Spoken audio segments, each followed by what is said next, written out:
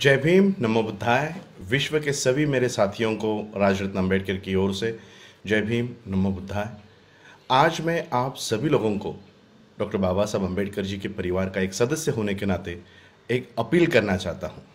ये अपील करने से पहले मैं आप लोगों को बाबा साहब अंबेडकर जी की एक बात बताना चाहता हूँ। बाबा साहब अंबेडकर जी ने महाड़ के चौदार तालाब का आंदोलन किया। उस आंदोलन का दूसरा भाग 25 दिसंबर 1927 को जब बाबा साहब इसको पूरा करने के लिए गए, तब वहाँ पर अंग्रेज़ पुलिस अधिकारी ने बाबा साहब अंबेडकर जी से एक मुलाकात मांगी और बाबा साहब अंबेडकर जी से मिलने के बाद इस अंग्रेज़ अधिकारी ने कहा कि बाबा साहब, आपके इस आंदोलन के खिलाफ और महाड़ के चौदार तालाब को लेकर वहाँ के ब्राह्मण, ये न्यायालय में गए हैं, कोर्ट में गए हैं, और आप लोग उस तालाब पर ना जाए, इसलिए वहाँ पर स्टे ऑर्डर लेकर आए हैं। हम आपके खिलाफ नहीं हैं, आपके हक और अधिकार के खिलाफ नहीं हैं, लेकिन आज अगर आप उस तालाब पर जाते हो, उस कानून का भंग होता है तो मजबूरन मुझे आपको और आपके सभी साथियों को अरेस्ट करनी होगी। बाबा साहब के साथ, बाबा साहब के साथी खड़े थे। बाबा साहब के साथियों ने कहा, भले ही हमको अरेस्ट कर लिया जाए, लेकिन हम तालाब पर ज़रूर जाएँगे. लेकिन बाबा साहब ने वैसा नहीं किया। बाबा साहब अंबेडकर जी ने देखा कि यहाँ की ब्राह्मणी व्यवस्था,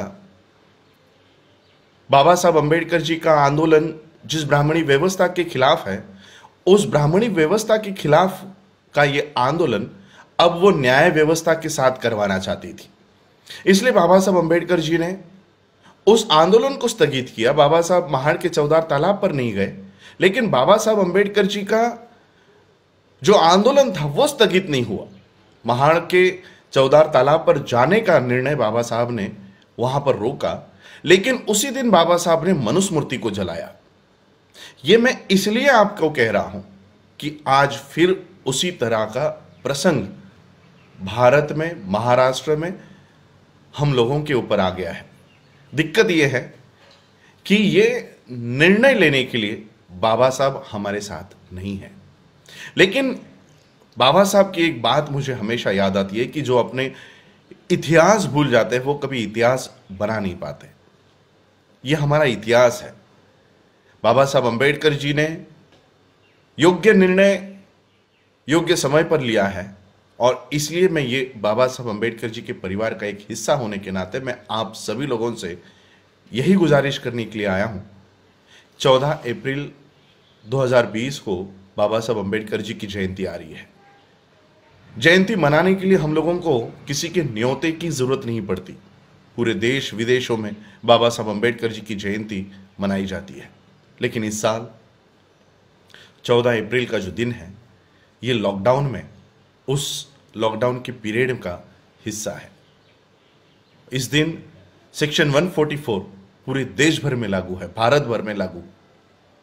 हम लोग बाबा साहब अंबेडकर जी के अनुयायी हैं।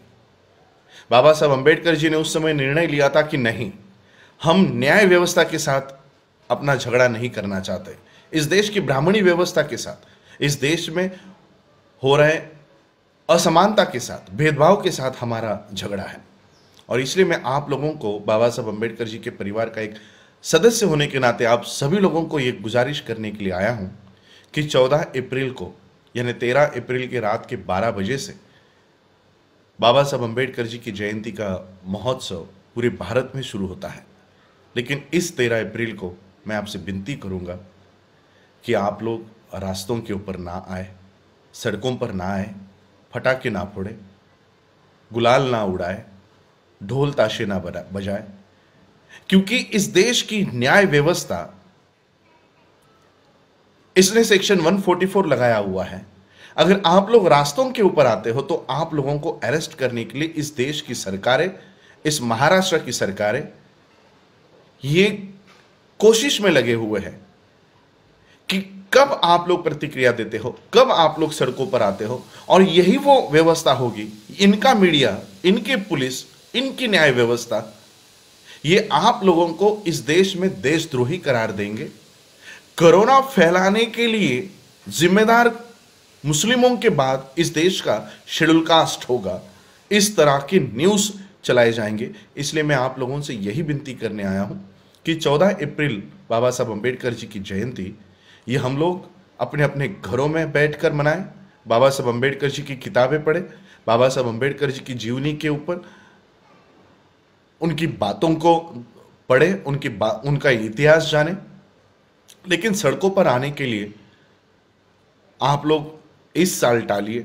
और जैसे ही जैसे ही ये लॉकडाउन का पीरियड खत्म होता है हमारे लिए बाबा साहब अंबेडकर जी की जयंती सिर्फ़ चौदह तारीख तक सीमित नहीं होती। महाराष्ट्र में मैंने देखा है भारत में मैंने देखा है जब तक बारिश शुरू नहीं हो, नहीं हो जाती तब तक बाबा साहब की जयंती मनाई जाती है। अगर आपको ये खबर अच्छी लगी तो लाइक करें, ज़्यादा से ज़्यादा शेयर करें और चैनल को ज़रूर सब्सक्राइब करें। धन्यवाद।